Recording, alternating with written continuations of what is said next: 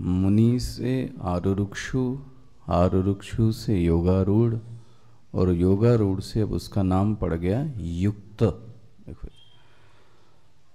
चार सोपानों को इसने क्रॉस किया, मुनि मनन किया, आरुरुक्षो हो कर्म कारण कारणमुच्यते, कर्म की साधना योगारूढ़ श्रम कारणम उच्यते निवृत्ति की साधना और अब जाके इसका नाम पड़ा युक्त।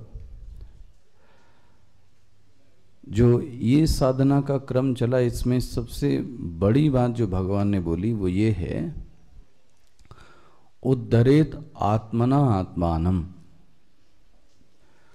व्यक्ति को अपना उद्धार स्वयं करना होगा, किससे? बोले, स्वयं से करना होगा। तो स्वयं से स्वयं का उद्धार करना होगा।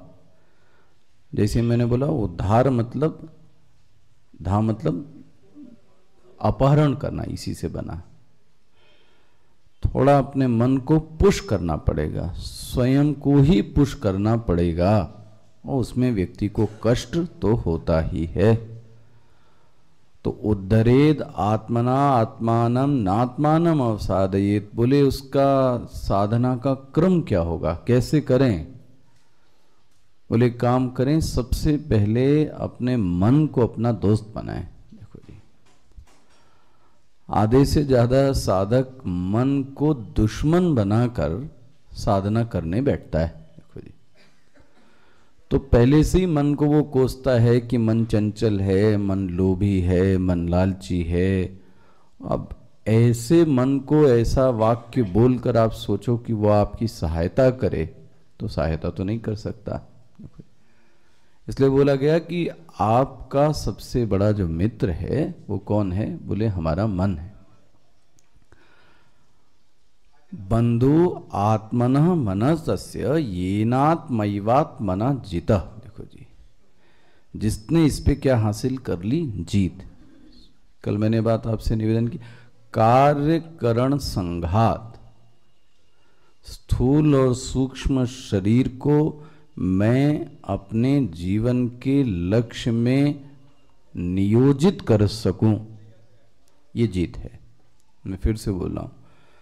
कार्य करण संघात मतलब स्थूल शरीर और सूक्ष्म शरीर को मैं जीवन का जो लक्ष्य निर्धारित किया है, मैं उसमें इनको इन्वेस्ट कर सकूँ, लगा सकूँ, यही व्यक्ति की क्या हो गई? जीत। नहीं हुआ बोले तो अनाथ मनस्तु शत्रुत्व। देखो जी, ये आपके अपने हैं नहीं। कौन? स्थूल शरीर और सूक्ष्म शरीर। कैसे हैं? बोले शत्रुत्व। ये शत्रु की तरह वर्तन करते हैं। कौन बाहर की दुनिया की बात नहीं की जा रही? आपका अपना स्वयं का शरीर। देखो, वही सबसे बड़ा शत्रु है। और जब उसने जीत लिया, सो कल आपने देखा, जीतात्मन, आत्मन जीता। जिसने इस कार्य करण संघात को जीत लिया, अब उसको एक उपलब्धि प्राप्त हुई, वो क्या थी? प्रशांतस्य। प्रशांति का अर्थ किया गया, निरुपद्रव सुख पूर्व की अवस्था, जिसमें निरुपद्रव नहीं है, जिसमें साधक सुख पूर्वक बैठा है सुख की अवस्था है। तो चितात्मना, प्रशांतस्य और ऐसे साधक के अंदर परमात्मा समाहित, परिस्थिति कैसी भी हो वह जो परमात्मा है, वो अच्छी तरीके से हित, समाहित रखा हुआ है। परिस्थिति कैसी हो बोले? ये क्यों बोला? तीन तरीके की परिस्थिति हैं। बहुत शारीरिक, बौद्धिक, मानसिक। तो शीत उष्ण, सुख दुख और मान और अपमान। ये हो गए ना? इन तीनों में प्रतिकूलताएँ होने के बाद में भी, देखो जी हो सकता है ये आपका फेवर ना करें। अच्छा ये भी देखना। कोई ज़रूरी नहीं कि ये आपके वश में हों अब जो शरीर की परिस्थिति है, वो हमारे वश में तो तो आप कर क्या सकते हो? चाहे वो हमारे फेवर में होवे और चाहे वो हमारे फेवर में न होवे। चाहे जीवन में सफलता मिली हो, चाहे जीवन में सफलता ना मिली हो, परमात्मा समाहिता। वो परमात्मा तो अच्छी तरीके से बैठा हुआ है।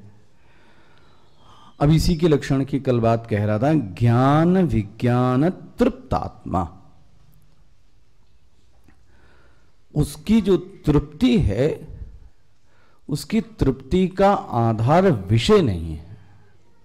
इसको आज एक नए ढंग से कोशिश करना देखने। उसकी तृप्ति का आधार विषय नहीं है। अच्छा हमारी तृप्ति का आधार विषय? मैं यही सोच रहा था, क्या विषय तृप्ति को प्रदान करता है या नहीं? थोड़ा वायज मत होना अरे भाई, कोई प्यासा है, कोई भूखा है और उसको पानी मिल जाए तो दिखने पे तो लगता है कि क्या मिल गया, इसको तृप्ति मिल गई।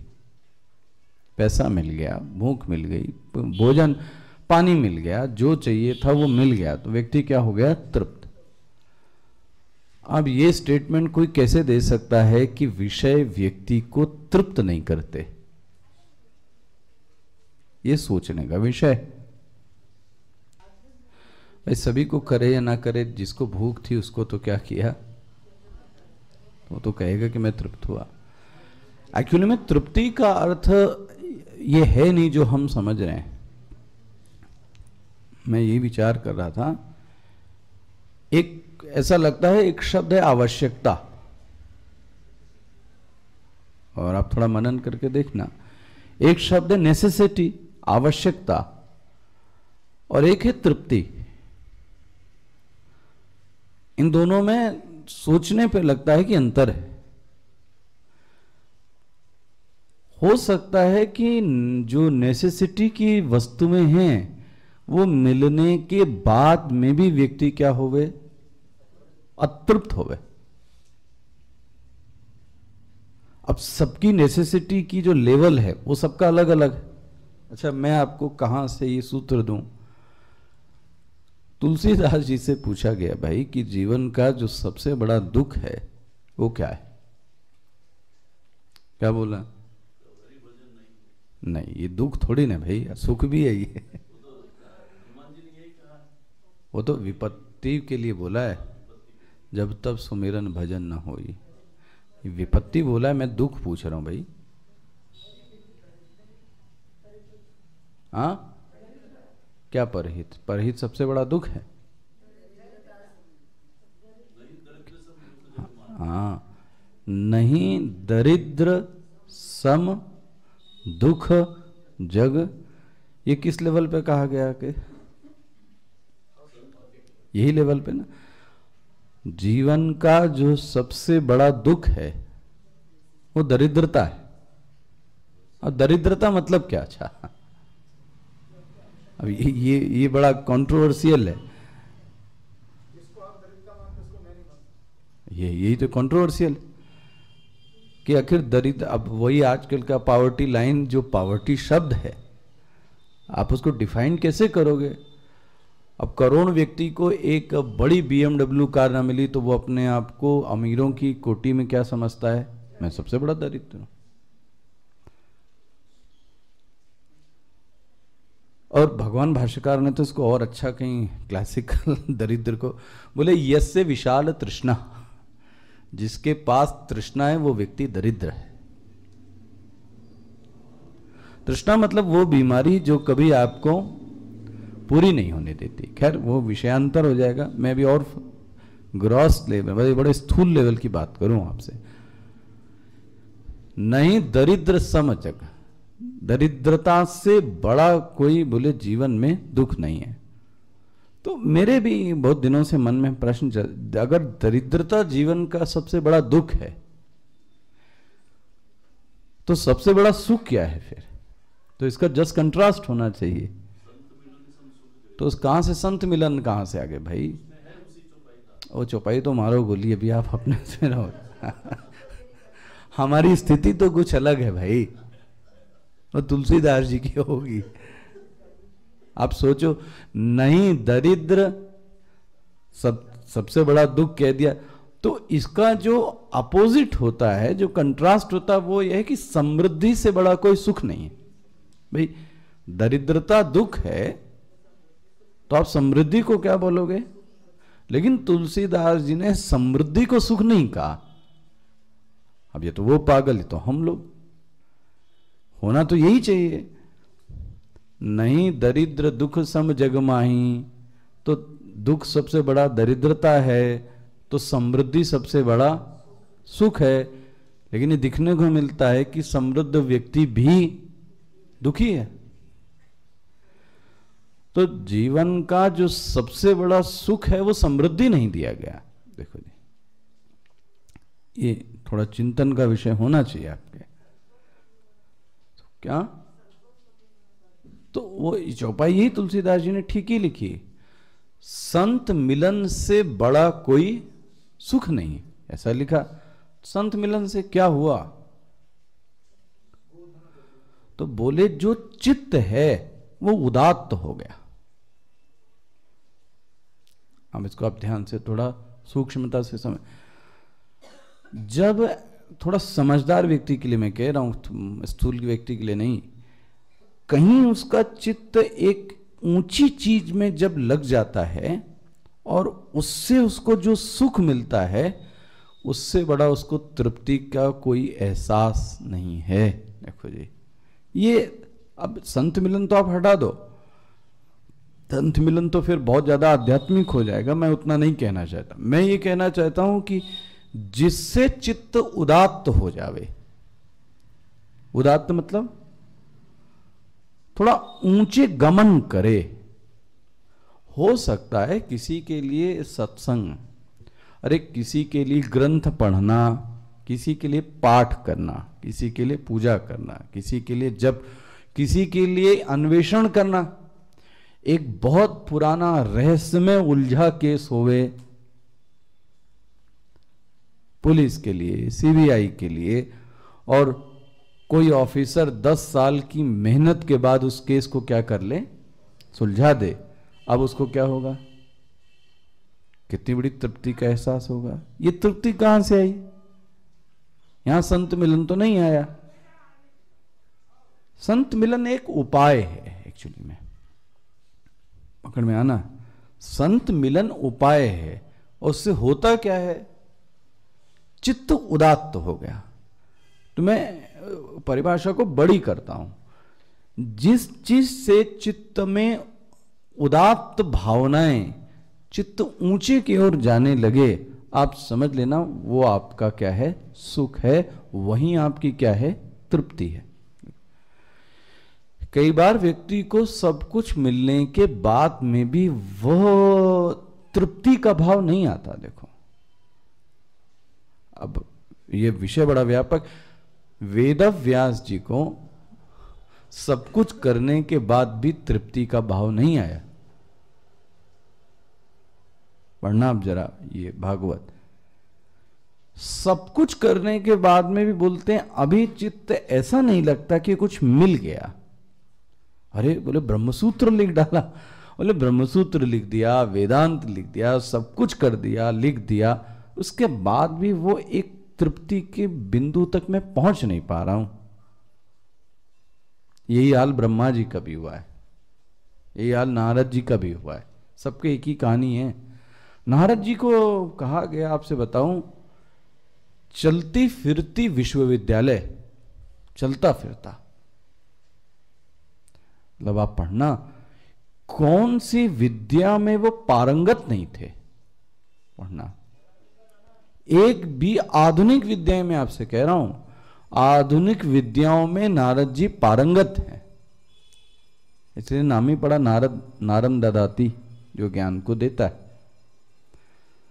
मतलब देखो, एक तरफ़ इतना ये सब ज्ञान होने के बाद में भी व्यक्ति को तृप्ति का एहसास नहीं है। इसका मतलब ये भी सिद्ध होता है कि इतना भौतिक ज्ञान अर्जित कर लेने के बाद में भी व्यक्ति को एक बिंदु पर तृप्ति का एहसास नहीं है। देखो, और आप जगत में देखते हो, सब कुछ मिलने के बाद में भी व्यक्ति तृप्त नहीं है। वेदव्यास जी को यही कहा गया, आप थोड़ा भक्ति का क्या कीजिए, गुणगान कीजिए। तब उन्होंने भागवत लिखी है। देखो जी इतना करने के बाद फिर क्या लिखी? भागवत लिखी। नारद जी को भी बोला गया, थोड़ा आप जरा देखो तो ऐसा कौन सी चीज़ है? बोले, आपने ब्रह्म विद्या की प्राप्ति नहीं की। सब लिख डाला है। सब जानते हो आप। अध्यात्म विद्या नहीं जानते। बोले, दूसरे को जानना, वो विद्या तुमको सब प्राप्त है। अपने को जानना, ये विद्या प्राप्त नहीं। इस जानो तो नारद जी, अध्यात्म को तो जानो आप।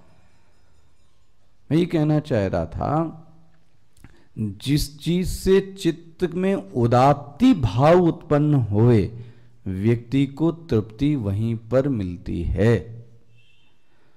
संत के मिलन से ऐसा माना जाता है कि व्यक्ति का जो चित्त है, वो कैसा हो जाता है? उदात्त, थोड़ा पवित्र, थोड़ा ऊँचे उठने की एक चाहत आती है। इसलिए उस साधक व्यक्ति को उसमें है, उसमें तृप्ति मिलती है। किसमें? संत मिलन। पकड़ में आया ना, ये सूत्र क्या कहा जा रहा था? ये बहुत बड़ा एक विषय है। तो विषय एक तक आपकी जो प्यास है, उसको क्या कर सकता है? पूरा कर देता है। इन आप बोलो कि तृप्ति आपको दे दे विषय तो विषय तृप्ति नहीं दे सकता। हो गया कि नहीं हो गया? अब किसी का लेवल ऐसा ही है कि जिसको इस अध्यात्म के अलावा पहले रोटी चाहिए तो मैं उससे कहूँगा पहले रोटी ही लेनी चाहिए। उसके लिए अध्यात्म ज़रूरी नहीं है। पहले तो क्या करे? रोटी खाए। जिससे कम से कम उसका पेट तो भरे। हो गया ना? ये व्यक्ति तृप्त किससे है? ज्ञान, विज्ञान तृप्त आत्मा देखो जी, तृप्त है। इसको जो सेटिस्फेक्शन का पॉइंट है, उसने ये अचीव कर लिया। कहाँ से? कल मैंने बताया आपको, ज्ञान और विज्ञान। जो शब्द के, शब्द क्या लिखा था? यहाँ क्या लिखा था? पदार्थ का जो ज्ञान है, वह ज्ञान है। पदार्थ के शब्द के अर्थ का स्वानुभाव होना वह विज्ञान है। अंडरलाइन की होगी आपने। पदार्थ के अर्थ का स्वानुभाव होना ये विज्ञान है। ध्यान रखना, सिर्फ़ ज्ञान नहीं चाहिए। तो आप एक टीचर बन सकते हो, एक ओरेटर बन सकते हैं। तृप्ति का एहसास नहीं होगा। ज्ञान, विज्ञान, तृप्तात्मा। देखो जी। तो इसको तृप्ति का एहसास विषय से नहीं है, बल्कि चित्त के उताधिकरण से है। चित्त इसका कैसा है? उदात्त है। अच्छा आगे। कूटस्थो विजितेंद्रिय कल लिखा आपने? कूट की तरीके से ये स्थित है। कूट की तरीके से स्थित है मतलब इसमें कहीं चंचलता, कहीं सुराख नाम की चीज़ नहीं है, देखो जी। हिलता नहीं है ये। और विजितेंद्रिय तो बोला ही गया कि जितात्मा। और इसका नाम पड़ गया युक्त, इति उच्यते। इसको क्या कहते हैं? युक्त। और अब इसकी एक एक और विशेषताएँ बताते हैं। सम ये सम है, किसमें? समलोष्टाश्म कांचना। कल ये बात मैं कह रहा था। एक बात ध्यान रख लेना आप सोने का मूल्य इसके लिए कम नहीं हो गया।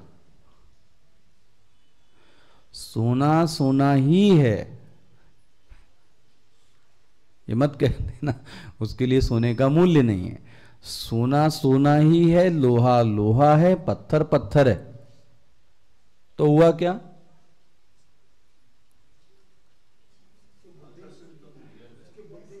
अच्छा इस प्रश्न को आप पैदा करो। मेरे लिए मूल्यवान वस्तु कौन सी है?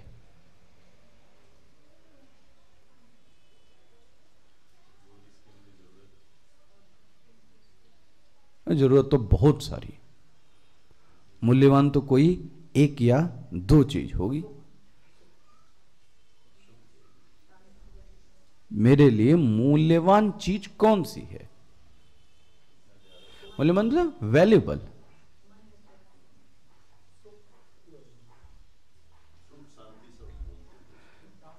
अब आम व्यक्ति सबसे ज़्यादा मूल्यवान किसको मानेगा? सोने को। अध्यात्म मत लाना आप। मतलब ज़बरदस्ती क्यों ना?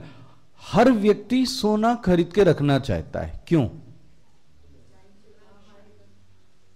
उसके चित्त में ये बात एक घुस गई है कि मैं जब विपरीत परिस्थिति में होऊँगा तो मेरी मदद अच्छा उस जगह ईश्वर का भाव क्यों ना आया? पता नहीं, असली सेठ मुझे कितने संतों ने सोना खरीदा होगा मुझे। अगर उसने खरीदा होगा तो मैं कह सकता हूँ कि वो संत नहीं है। फिर अंतर क्या रह गया? यही तो बहुत बड़ा अंतर दोनों में पैदा करता है। इसलिए मैंने बोला, मूल्यवान चीज़ कौन सी है? शास्त्र में कहा गया, मूल्यवान चीज़ वो है जो आपको तृप्ति प्रदान करे।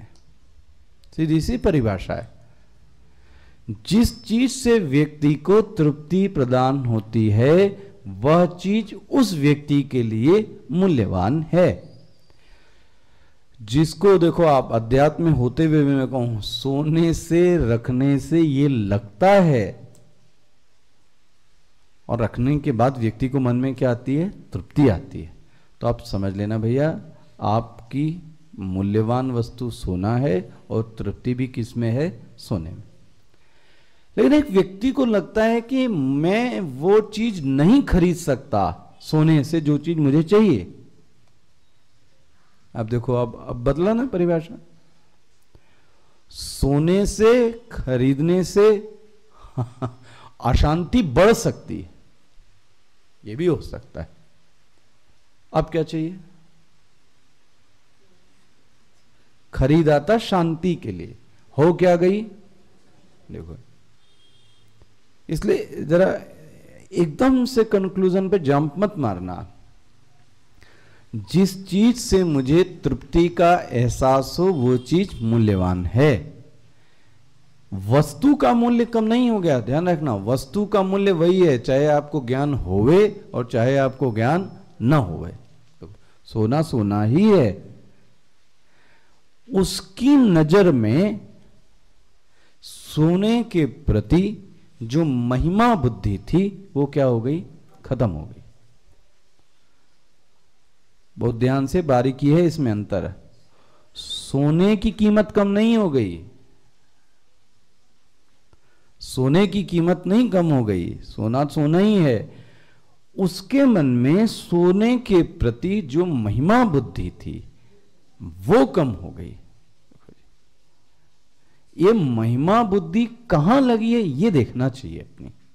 बहुत बड़ी चीज़ है, आपसे बताऊँ। इतनी जल्दी समझ में नहीं आती है। महिमा बुद्धि मेरी कहाँ पर लगी हो यही बोलते हैं वरण। यही मूल है। मूले कुठारा घात आप जानो तो कि मैं किसको वैल्यूएबल मानता हूँ? एक तरफ़ ये और एक तरफ़ ये। चुनना तो किसको?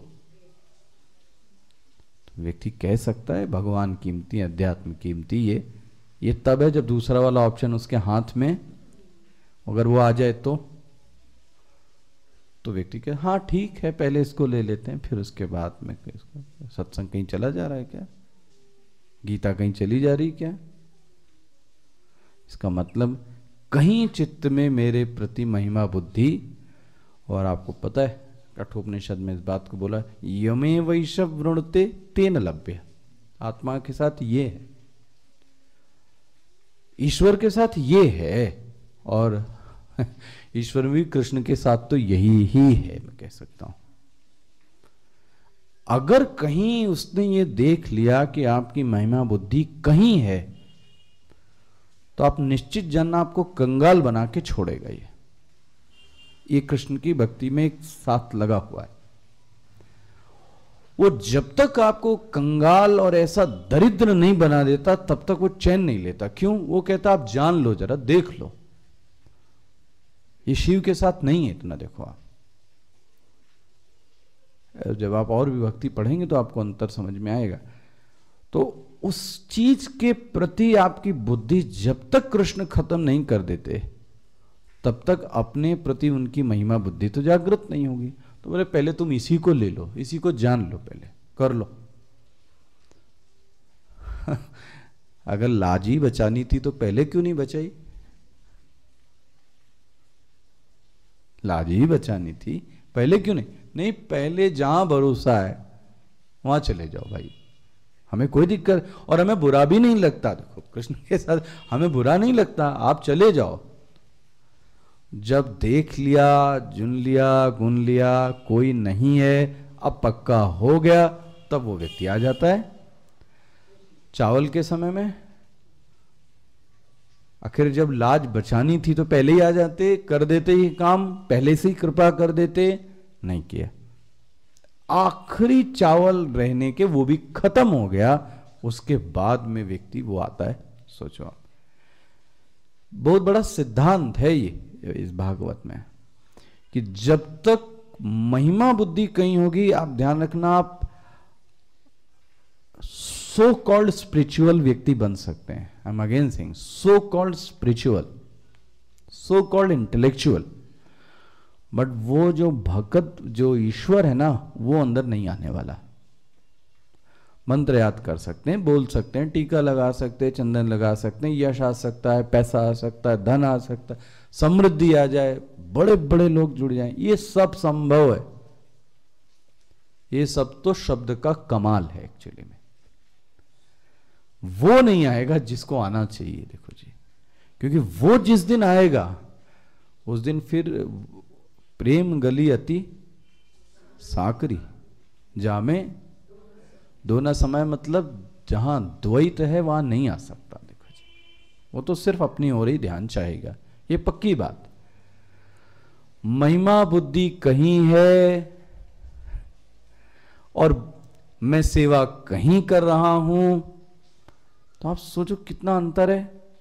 मैं रहता कहीं हूँ इन्वेस्ट कहीं कर रहा हूँ, जा कहीं रहा हूँ, मन कहीं लगा पड़ा है। अस्त व्यस्त है पूरा व्यक्तित्व। तृप्ति का एहसास वही है जहाँ मेरी मूल्यवान बुद्धि है। मूल्यवान बुद्धि वहाँ है जहाँ मुझे लगता है कि इससे मेरे तृप्ति मिलती है। जिस दिन इस शब्द में, इस तत्व में, इस इस भगवान में ऐसा एक बुद्धि जागृत हो जाए, मुझे तो तृप्ति इससे मिलती है। और तब देखो आप वो ना आता हो तो। लेकिन उसको पता है कि अभी मेरे ऊपर इतना विश्वास तो कहाँ से आएगा? तो तो नियम ही टूट जाएगा फिर। इस समलोष्टाश्म कांचन, देखो जी विषय के प्रति जो उसकी महिमा बुद्धि थी वो कम हो गई। विषय का जो मूल्य वो है। ध्यान रखना सोना सोना ही रहेगा लेकिन उसके लिए सोने की कोई कीमत नहीं है। कोई भक्ति करे और सोने की महिमा बुद्धि को भी रखे और ईश्वर को भी रखे और समय आने पर बोले ये है समय आने पर वो है। ये, नहीं चल सकता देखो। तो इसके लिए क्यों हो गया? सम क्यों हो गया? क्योंकि इसकी तृप्ति का जो एहसास है, इसका कहीं और है। देखो, इसकी तृप्ति का एहसास ज्ञान विज्ञान तृप्त आत्मा अब देखो आप जरा, तृप्ति कभी कभी व्यक्ति को लगता है संबंध से, रिलेशन से कभी कभी लगता है स्वर्ण से है। ये सब चीज़ें जैसे ही आपके पास में आती हैं तो आपको अपना जो असली स्वरूप है, वो क्या करती हैं? दिखा देती हैं। अभी कभी आपको और आएगा, पास में विषय तब खोलूँगा ये दूर के ढोल सुहावने वाली बातें हैं। ये जो भी विषय है, वो दूर है, तब तक तो सुहावना लगता है। लेकिन पास आने पर जो चीज़ हमें चाहिए, हमें दिखता है कि ये चीज़, अब सोना खरीदा था, लोग, जो परिवार है, वो हमसे क्या रहे? संबंधी बने रहें। लड़के लड़की, पोते पोती जुड़े रहें। और हुआ क्या उसी सोने के कारण? सब दुश्मन हो गए। द्वेष भाव हो गया किसके कारण? उसी संपत्ति के कारण। और खरीदा किसके लिए था? अब आप देखो तो झगड़े की जड़ क्या हुई? तो इससे सिर्फ़ इतना ही सबक लेना चाहिए कि मेरी तृप्ति यहाँ नहीं है, आवश्यकता हो सकती है। तृप्ति तो इसमें होने वाली नहीं है। तो ये तो जो दिखाया गया ये दिखाया गया निर्जीव वस्तु में। देखो, सोना, लोहा, लेकिन अब बोलते हैं सजीव में भी सम है। देखो निर्जीव में सम होना आसान है। सजीव में सम होके दिखाओ। बोले, सजीव में सम मतलब क्या? बोले, एक व्यक्ति के पास ये छह सात लोग रहते हैं। हर व्यक्ति के पास हैं ये। कौन? सूरद मित्र। गिन लेना। कितने होते हैं? सूरद मित्र, अरि, उदासीन, मध्यस्थ, द्वेष्य, बंधुषु, साधु, पाप। कितने हो गए? हाँ? गिने कि नहीं गिने? ये हटा दो, चलो आप साधु और पाप, और चलो। आप कितने हो गए? सूरद एक, मित्र दो, अरि तीन, उदासीन चार, मध्यस्थ पाँच, द्वेष्य बंधुषु। ये सात जीवित लोग हर व्यक्ति के साथ में हैं। हर एक व्यक्ति के साथ ये सात लोगों का सर्कल है। कौन कौन है? सुरन, मित्रा, अरि, उदासीन, मध्यस्थ, द्वेष, बंधुषु। इनमें भी वो सम है। समझना जा रहा है श्लोक क्यों आया? निर्जीव के प्रति सम है तो सजीव के प्रति भी सम है। सजीव के प्रति सम है मतलब बोले, पहला, सूरद। सूरत मतलब अभी आपने पढ़ा था ये शब्द। पाँचवें अध्याय में आया। क्या परिभाषा दी गई? ये पाँचवें अध्याय में भी पढ़ा है नहीं? मैंने इसको अंडरलाइन कराया होगा, आप देखना। सूरत मतलब क्या?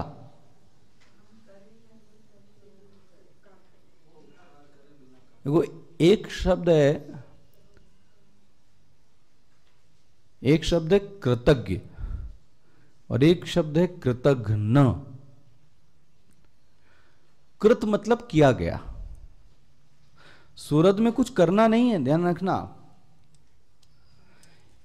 कृतघ्न और कृतज्ञ, इनमें जो कॉमन शब्द है वो क्या है? कृत। कृत मतलब किया गया। जो किए गए काम को व्यक्ति मानता है, ज्ञ मतलब जानता है, मानता है किसको? कृत। उस व्यक्ति को बोलते हैं कृतज्ञ। जो व्यक्ति के लिए किया गया क्योंकि किया उसके लिए भी गया, लेकिन वो उसको नहीं मानता है। घ्न। उसको क्या बोलते हैं? कृतज्ञ। शास्त्र कहता है, ये तीन लोगों के प्रति कृतज्ञता का भाव सदैव होना चाहिए। माता, पिता और गुरु। देखो जी, ये तीन हैं। इनके प्रति कृतज्ञता का भाव सदैव जीवन भर जागृत रहना चाहिए। देखो जी, अब ये थोड़ा भावनात्मक मुद्दा हो जाता है, इसलिए मैं इस पर ज़्यादा नहीं बोलता, लेकिन ये याद रखना चाहिए, जो इस एहसान को नहीं मानता है, वो जीवन में सुखी नहीं रह सकता कभी। अब हर माता पिता जितना कर सकता है, जितना संभव है, वो उतना अपने बच्चे के लिए करता है। अगर वो असलियत में माँ बाप उसका तो आनंद इसी में छिपा रहता है कि आप प्रसन्न तो वो प्रसन्न, आप दुखी तो वो दुखी। सोचो आप। तो कम से कम हमें कृतज्ञ बनने की कोशिश करनी चाहिए। देखो जी। इस कृतज्ञता का जो भाव व्यक्ति रखता है, उसी को मैं क्या बोल रहा हूँ अभी? सूरद। हो गया? वो सूरद में भी मिलने पर कैसा है? सम है। माता में, पिता में, गुरु में भी कैसा है? सम है। अच्छा आ गया जय मित्र। अब ये अंडरलाइन कर लेना, हालाँकि मैंने परिवार प्रत्युपकार अनपेक्ष उपकर्ता, यही बात पहले भी बताई गई थी। उपकार के बदले उपकार नहीं। ये तो दोस्त है। आपने खिलाया, उसने खिलाया, इसने किया, उसने किया। और आपने नहीं किया तो उसने भी नहीं किया। लो जी। ये चाहत थी तो ये तो नीचे गिर गई। यहाँ बोलते हैं प्रत्युपकारम। पहला शब्द देखना वो उपकार करता है, लेकिन अनपेक्ष। किसी प्रकार की कोई अपेक्षा नहीं रखता। मतलब उस व्यक्ति के लिए काम करे और काम करने के बदले में उससे कोई अपेक्षा, ये करना क्या हो गया? प्रत्युपकार। ये कौन करता है? जा माता, पिता और और बाद में पढ़ेंगे तो माता, पिता को भी शास्त्र में हटा दिया गया। अगर असली गुरु है तो वो भी उससे कोई बदले में कोई चाहत नहीं रखता। यही चाहते कि इस कार्य को क्या करे, वो आगे बढ़े, बस। उसका नाम ले, ना ले, क्या करता है? वह जो ज्ञान है, वह जो तत्व डाला गया है, वह तत्व को वो क्या करे? आगे बढ़ाए। अब नेचुरली अगर वो शिष्य होगा तो नाम लेगा ही लेगा अपने गुरु, कैसा कैसे हो सकता है? भाई, जिसके कारण वो ज़िंदा है, आप उसका नाम ना लो, ऐसा कैसे हो सकता है? सोच के देखो आप। जिसने ए मतलब अध्यात्म की ए, बी, सी, डी करके और आपको बड़ा बनाया और बड़ा करके आप में जान डाली और आप बोलो कि नाम ही नहीं लें, ऐसा तो संभव नहीं है, होना भी नहीं चाहिए। प्रत्युपकार अनपेक्ष, अपेक्ष नहीं, शब्द है, अनपेक्ष, उपकर्ता। मेन करता नहीं है, कैसा है? उपकर्ता। अच्छा भैया, मित्र। अब मित्र के बारे में क्या कहा जाए?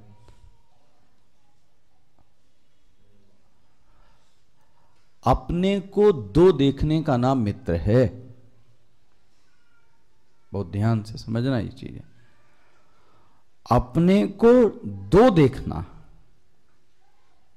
अगर वो दूसरा आपकी तरीके से आपको इतना विश्वास है तो समझना कई बार शास्त्र में दिया गया, जैसे आपका प्रतिबिंब।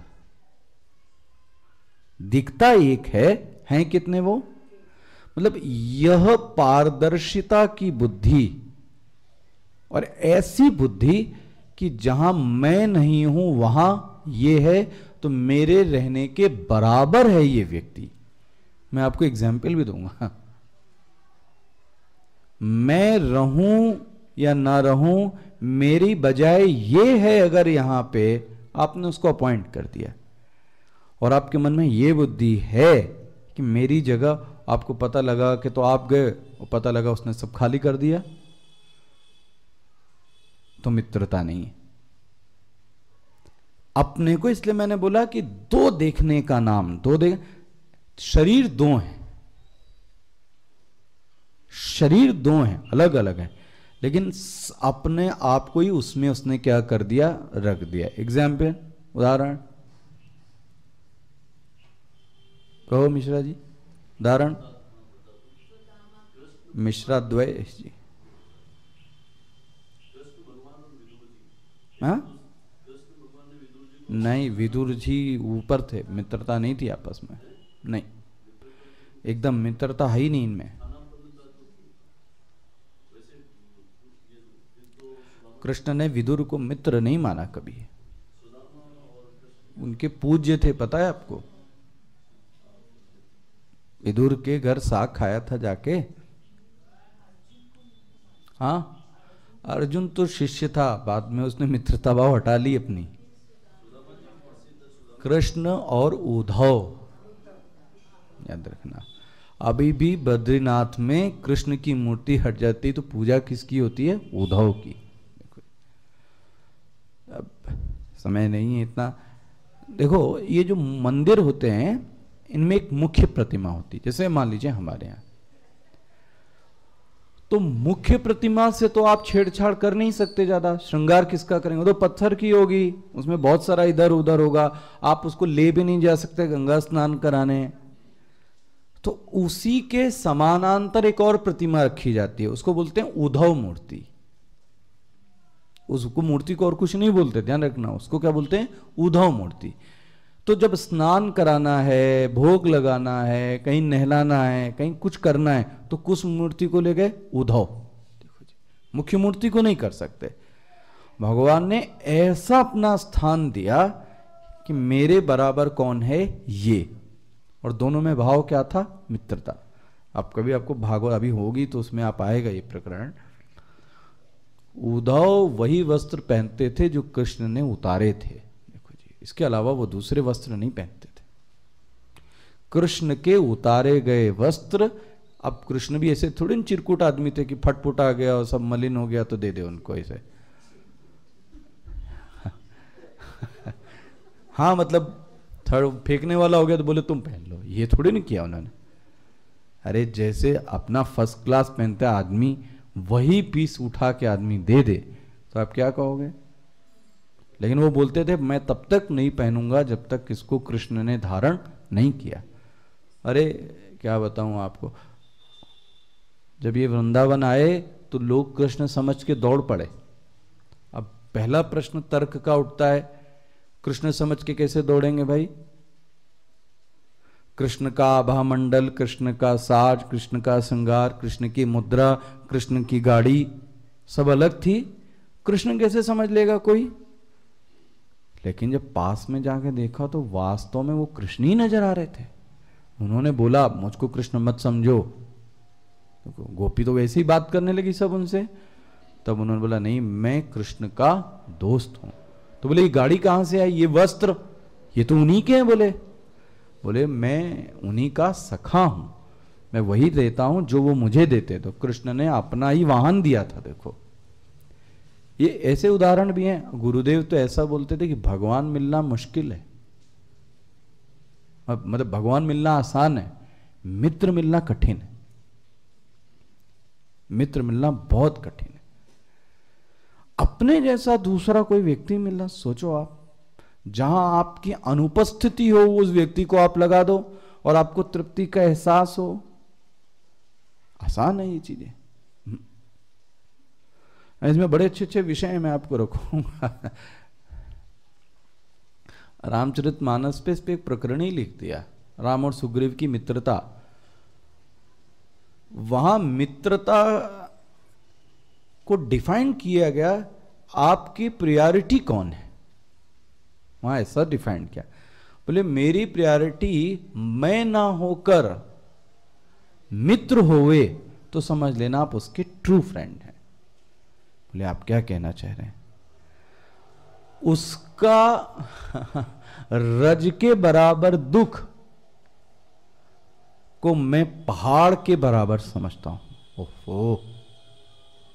मेरा पहाड़ के बराबर दुख मैं अपने दुख को रज के समान समझता हूँ। अंदर देखना। अभी कल दिखाऊँगा आपको, मैं चौपाई भी दिखाऊँगा। यही, क्या चौपाई बोली? है ना? जे ना मित्र हो ही दुख। खैर, अभी तो आप इतना समझो अपना अपना आप लोग देखना जरा भैया। हमको अपना ही दुख क्या लगता है? ओफ। ओ कभी कभी मुझे लगता है कि हमको लगता है मैं इतना बीमार। तो आप 10 मिनट के लिए बस एक काम करो आप। हॉस्पिटल हो आओ आप। दिख जाएगा आपको असली दुख। हमको क्योंकि हम सिर्फ़ स्वयं के बारे में सोचते सोचते सोचते हमें लगता है कि हम ही सबसे बड़े दुखी दुखी आत्मा है। अरे बाहर तो निकलो, अभी जाके तो देखो आप क्या हाल है। अब मन का स्तर देखना, मित्र क्योंकि देखो, हम लोग समाज में कहीं ना कहीं सब बातें करते हैं। मित्रता की पहली शर्त, मित्रता की पहला सिम्टम यह है प्रायोरिटी क्या होनी चाहिए? प्रायोरिटी ये कि मैं दूसरे वाले को दुख, जो कि रज के समान है। रज मतलब कण। मैं उसको कैसा समझता हूँ? बहुत बड़ा। और मेरा बहुत बड़ा दुख हो क्या रहा है अभी? उसका उतना बड़ा दुख मेरे लिए रज के समान है। मेरा जरा सा सुई चुभो दे कोई तो मेरा दुख तो बहुत बड़ा है। ये मित्र नहीं है। देखो जी, मैं अब कल कोशिश करेंगे। मित्रता की दूसरी जो प्रबंधन की शर्त है, वो है पारदर्शिता। ट्रांसपेरेंसी। इसी का नाम मित्र है, एक्चुअली में और क्या है? अरे, जो रिफ्लेक्शन दिखता है वो क्या है? ट्रांसपेरेंसी तो है कांच में।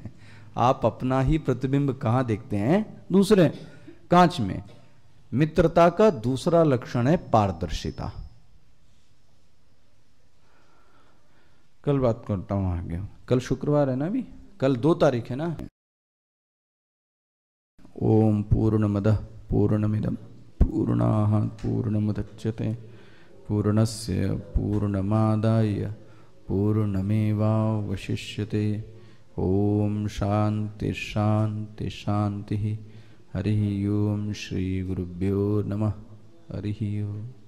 धन्यवादः।